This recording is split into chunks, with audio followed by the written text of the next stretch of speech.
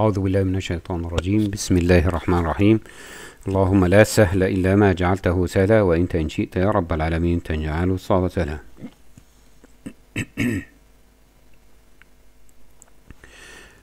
آه إن شاء الله نحل امتحانات الصف الثاني الإعدادي في مادة الجبر للفصل الدراسي الأول العام 19 20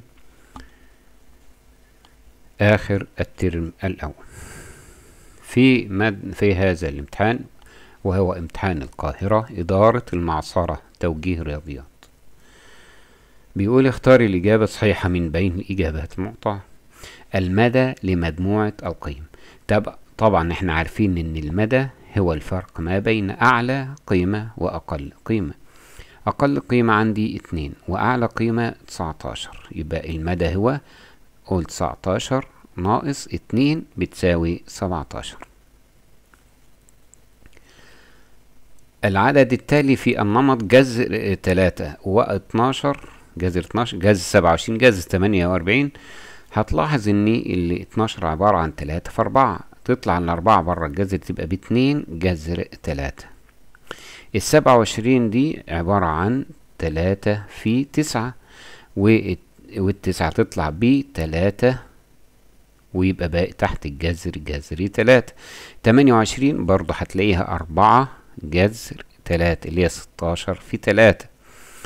بعد كده خمسة يبقى العدد اللي بعد كده هيبقى خمسة تدخل جوه بخمسة وعشرين تضربها في تلاتة اللي هي يعني خمسة جذر تلاتة هتبقى جذر كام؟ تلاتة في خمسة وعشرين بخمسة وسبعين.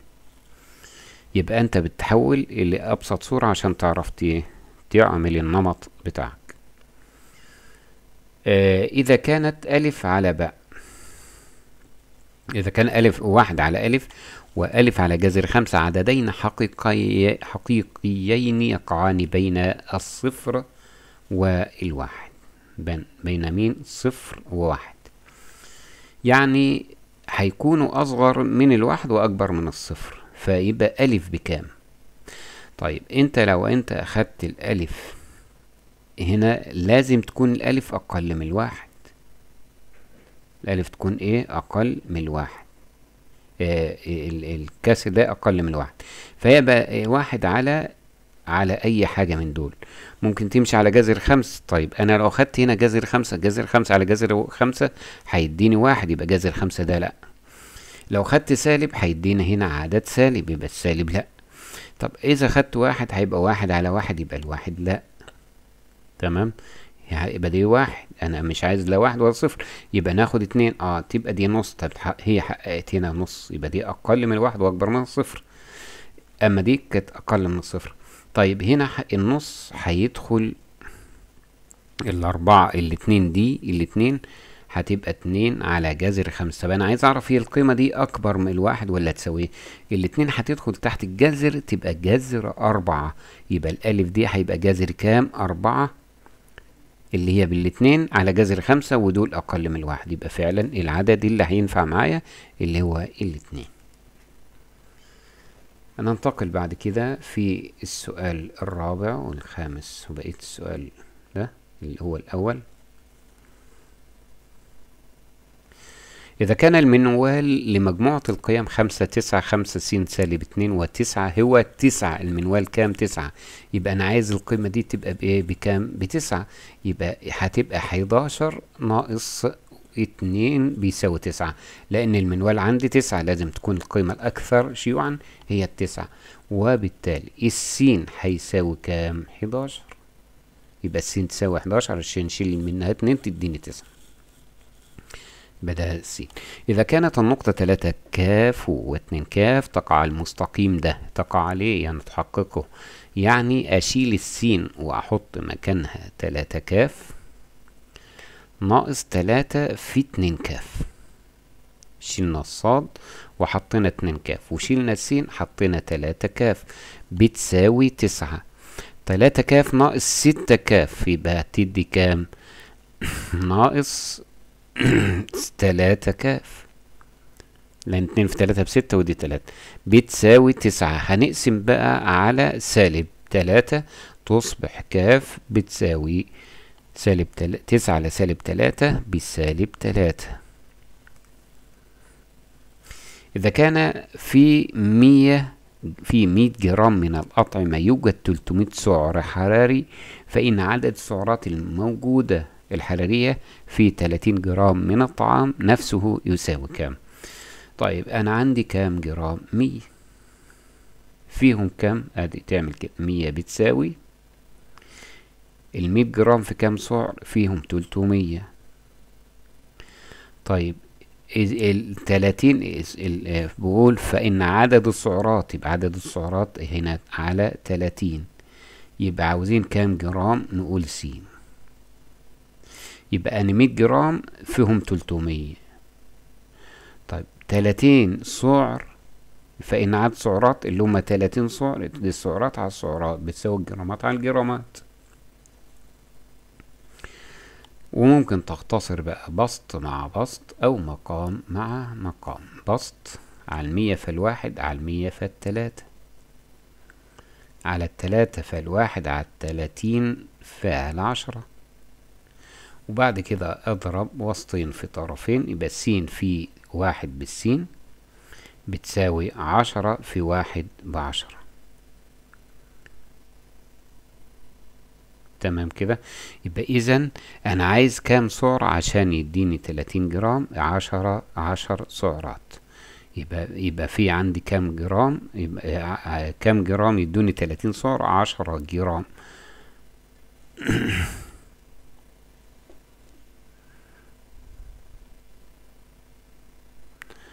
مية جرام بيدي سي على س سعر مية جرام على س جرام تلتمية سعر على آه دي تلاتين جرام. فبقول فما عدد السعرات في تلاتين جرام. عدد السعرات في تلاتين جرام. هيبقى قلنا مية جرام على تلاتين جرام بتساوي تلتمية سعر على س سعر هو بيقول لك فما عدد السعرات. يبقى اذا برضو بنختصر بنفس الأسلوب. على المية فالواحد على المية فالتلاتة أضرب تلاتة في تلاتين وواحد في السين يبقى السين بتساوي تلاتة في تلاتين بتسعين سعر. يبقى اذا التلاتين جرام هيدوني تسعين سعر. نشوف سؤال بعد كده.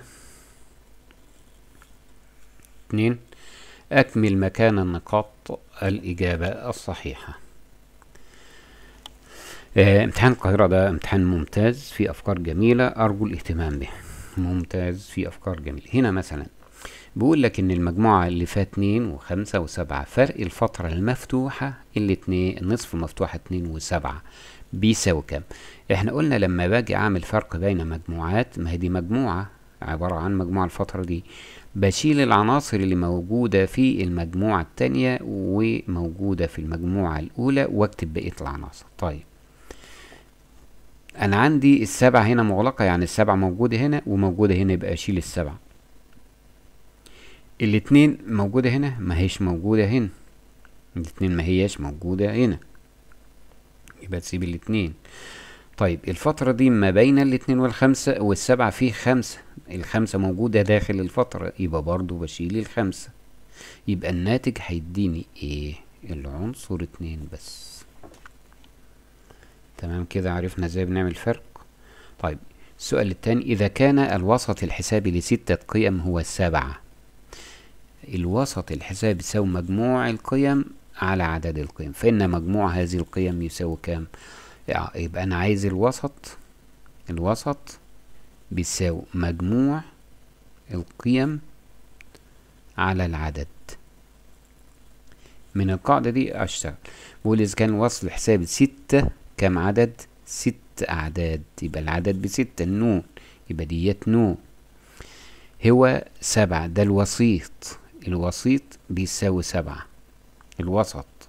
الوسط. الحسابي بتاعي اللي هو ده. فإن مجموع هذه القيم بيساوي كام؟ يبقى أنا عندي المجموع بيساوي الوسط في العدد. يبقى أقول مجموع القيم بيساوي الوسط في العدد. بيساوي الوسط بكام؟ بستة. في عددها ستة في سبعة. بيدي مجموع القيم اللي هي اتنين وأربعين قيم. مجموعهم نجمعهم يديني اتنين وأربعين. مكعب حجمه سبعة وعشرين سنتيمتر مكعب. أنا عارف إن الحجم بيساوي طول الضلع في نفسه في نفسه يبقى اذا طول الضلع لام بيساوي الجذر التكعيبي للحجم اللي هو سبعة وعشرين بيساوي تلاتة. يعني الحجم ده عبارة عن لام في لام في لام. فإيه العدد اللي تضرب تلات مرات يدي سبعة وعشرين؟ هو تلاتة. يبقى ده طول حرف المكعب. فإن مساحة أحد أوجهه كل أوجه المكعب مربعات. وطول الحرف المربع اللي هو طول حرف المكعب بتلاتة. يبقى مساحة أحد الأوجه بيساوي تلاتة في تلاتة بتسعة. العلاقة تمانية س زائد تلاتة ص بتساوي أربعة وعشرين يمثلها بيانيا مستقيم يقطع محور الصادات في النقطة كام؟ شوف بيقطع مين؟ بيقطع إيه؟ محور مين؟ الصادات هنا بيقطع هنا. طب لما هو بيقطع هنا يبقى السين كانت بكام؟ بصفر. يبقى نعوض عن س هنا بإيه؟ بصفر. يبقى إذا صفر بتساوي تلاتة ص... أو زائد صفر زائد تلاتة صاد بتساوي أربعة وعشرين نقسم على التلاتة تصبح صاد بتساوي أربعة وعشرين على التلاتة تلاتة في تمانية. يبقى صاد بكام؟ بتمانية. يبقى هو بيقطع محور الصادات. في النقطة هو بقول في النقطة مش هتقول له تمانية بس بقى هو بيقطعها عند التمانية في الصاد. يبقى السين اتفقنا إن السين بكام؟ بصفر. يبقى بيقطعها في النقطة صفر وتمانية. إذا كانت نقطة تقاطع المنحنيين المتجمعين الصاعد والهابط هي واحد وتلاتين وخمسين فإن مجموع التكرارات بكام؟ انتبه معايا كده. إنما كنا بنعمل المنحنى التكراري النازل والصاعد دي الصاعد وده النازل. كانوا بيتلاقم عند نقطة المنتصف منتصف التكرارات. بيتقاطعوا هنا بالضبط في النص. مش ده كان التكرار؟ ده المنتصف ودي المجموعات. طيب هما بيتلاقوا فين في المنتصف؟ يبقى هنا إذا كان خمسة وعشرين يبقى كل التكرارات بخمسين. طب لو كانوا بيتقاطعوا عندي الخمسين ما هو أنا عندي المسقط الصادي اللي هو مين؟ هو النقطة دي. والمسقط السيني أهو السيني ده اللي هو كام؟ واحد وتلاتين. والصادي اللي هو التكرار هو بيقول لك فإن مجموع التكرارات بكام بقى؟ إذا كانت خمسين يبقى مجموعهم كلهم بكام؟ بمية. فهمنا إزاي؟ لأن نقطة تقاطع اللي هي واحد تلاتين وخمسين اللي هي دي واحد وتلاتين وخمسين. أهي النقطة دي ديت هي نقطة المنتصف تكرارات. على الرأس ونقطة منتصف المجموعات على الأفق. نشوف بعد كده الأسئلة التالية. كرة حجمها كرة حجمها ستة وتلاتين باي. احسب مساحة سطحها بدلالة باي أنا عندي حجم الكرة بيساوي أربعة على تلاتة باي نق تكعيب طيب ده بيساوي مين؟ ستة وتلاتين باي. هنشيل الباي مع الباي. وعلى الأربعة فالواحد على الأربعة فالتسعة.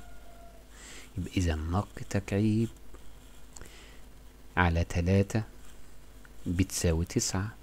اضرب تلاتة في تسعة يبقى نق تكعيب بتساوي سبعة وعشرين. يعني نق ناخد جذر التكعيبي للطرفين هيساوي تلاتة. ده نص قطر الكرة. طيب أنا عندي المساحة الجا مساحة الكرة أو المساحة للكرة. هي الكرة ملهاش مساحة جانبية ولا كلية كلها مساحة واحدة كلية. كرة ملهاش لا جانبية ولا كلية لأنها بترتكز على نقطة واحدة. يبقى مساحة الكرة بيساوي أربعة باي نق تربيع. أربعة إيه؟ باي نق تربيع. بيساوي. عاوز بقى احسب مساحة سطح الكرة بدلالة باي يبقى أربعة وأسيب باي زي ما هي. والنق تربيع اللي هي تسعة أربعة في تسعة ستة وتلاتين باي سيبها بدلالة باي. سنتي متر مربع لأن دي مساحة. باء. أوجد في ح مجموعة حل المتباينة. الآتية ومثل مجموعة الحل على خط الأعداد. باء. مجموعة الحل. أدي الخمس سا تلاتة س أكبر من حداشر. طيب. يبقى عندنا هنا بقى إيه؟ هنطرح من الطرفين خمسة. يعني خمسة ناقص خمسة ناقص تلاتة س أكبر من حداشر ناقص خمسة. يعني ناقص تلاتة س أكبر من ستة. هنقسم على ناقص تلاتة للطرفين وما اقسم على ناقص يبقى اتجاه التباين يتغير. يبقى نقسم على ناقص تلاتة هتديني هنا س بالموجب وهنا ناقص اتنين. إيه ناقص تلاتة على ناقص تلاتة س أقل من ستة على ناقص تلاتة. ده مع ده في الواحد ده مع ده في سالب اتنين. مثلها على خط الأعداد أدا خط الأعداد أهوت.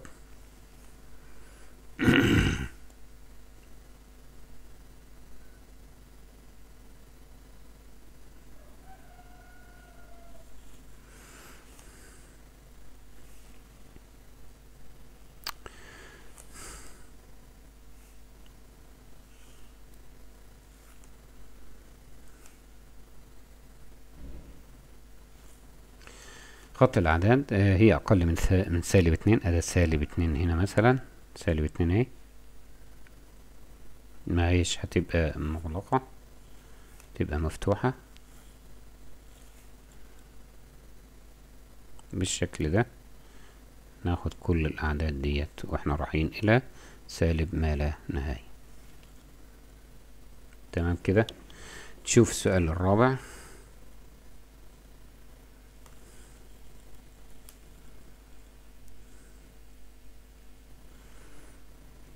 إذا كانت س بتساوي جذر سبعة زائد جذر خمسة وصاد بتساوي اتنين على س فوق قيمة المقدار س زائد صاد على س س صاد. إحنا عندنا س أدي الصاد بتساوي اتنين على س بتساوي اتنين على السين بكام؟ جذر السبعة زائد جذر خمسة بتساوي. طبعا أنا مش هسيبها كده أضرب في المرافق جذر خمسة ناقص جذر سبعة سبعة ناقص جذر خمسة على جذر سبعة ناقص جذر خمسة. بتساوي. تضرب ده في ده هيديلك سبعة ناقص خمسة. تضرب ده في ده هيديك اتنين جذر. أو اتنين خلي اتنين في قوس كده. جذر سبعة ناقص جذر خمسة. دول مجموعهم باتنين. على الاتنين دول كده بيساوي اتنين. تبقى ديت مع دي فالواحد يبقى باقي جذر خم سبعة ناقص جذر خمسة. يبقى المقدار س زائد صاد على س في الصاد بتساوي السين بكام؟ جذر سبعة زائد جذر خمسة زائد جذر سبعة ناقص جذر خمسة على. أضرب جذر خمسة زائد جذر سبعة ده في ده ده مرافق ده حاصل ضربهم اللي هي جذر سبعة زائد جذر خمسة في جذر سبعة ناقص جذر خمسة بيساوي. نجمع بقى. جذر سبعة زائد جذر سبعة اتنين جذر سبعة. ناقص جذر خمسة وجذر خمسة بصفر على.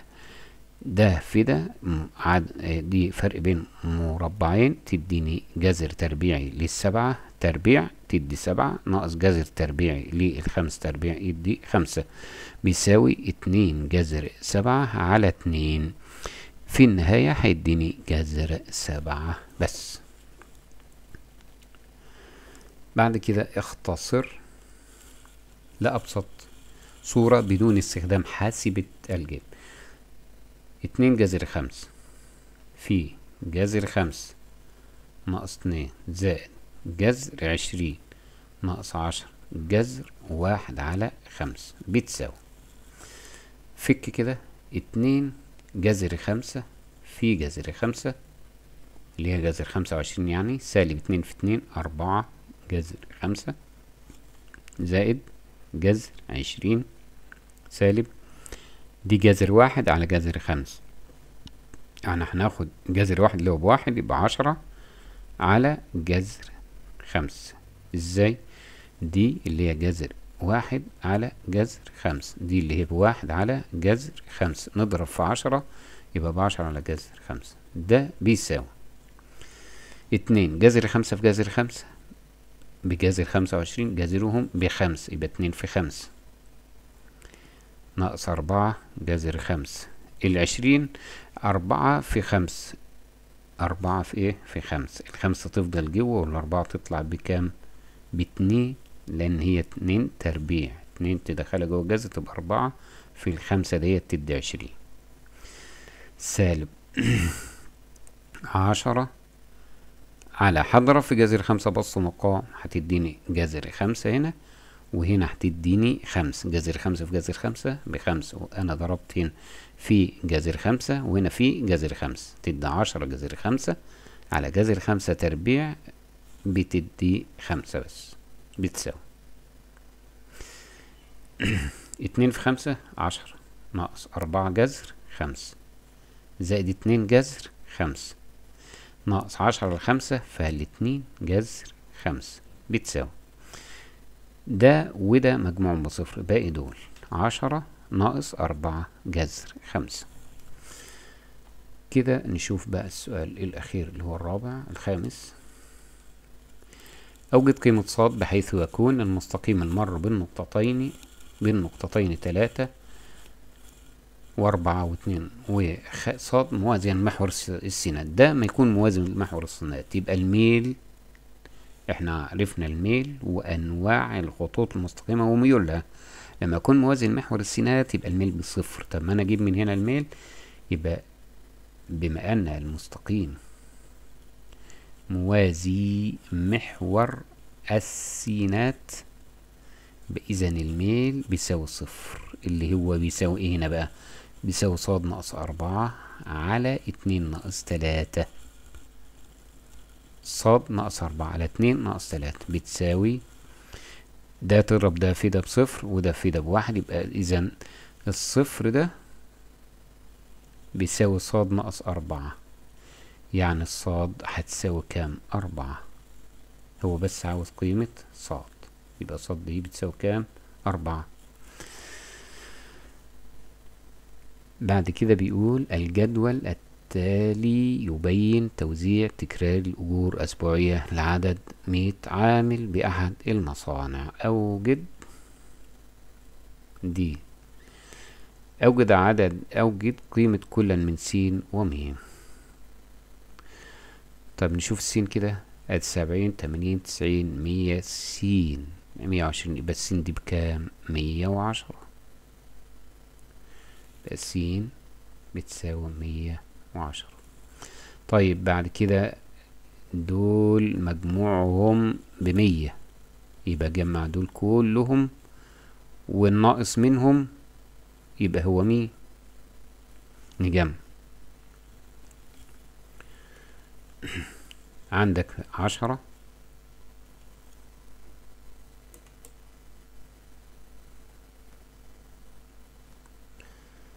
زائد تلاتاشر زائد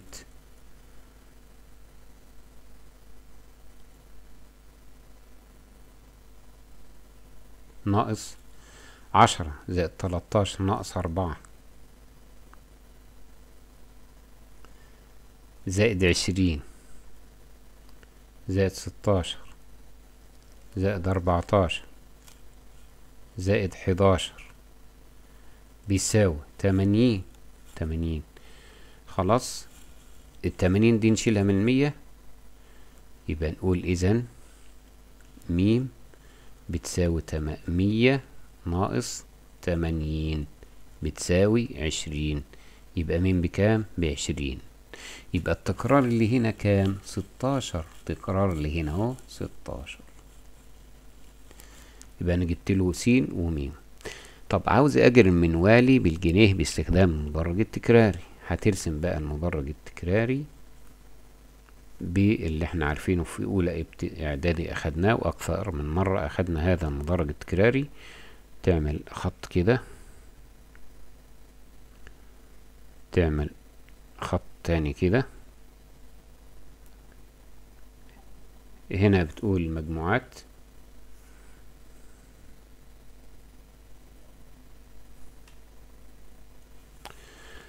المجموعات بتكملها. بتيجي هنا بقى أنا أقول لك الفكرة تكمله. بتيجي على أعلى مدرج وليكن أعلى مدرج كده.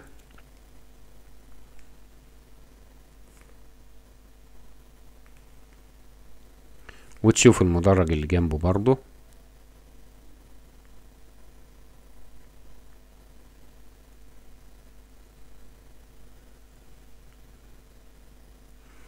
وليكن المدرج التاني جنبه بالشكل دوت.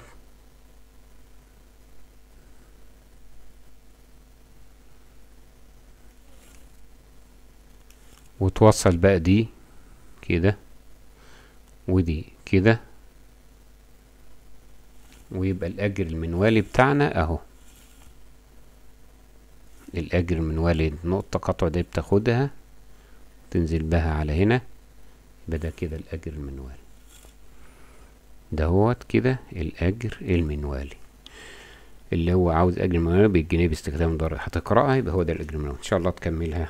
وأرجو منكم الدعم. والسلام عليكم ورحمة الله وبركاته.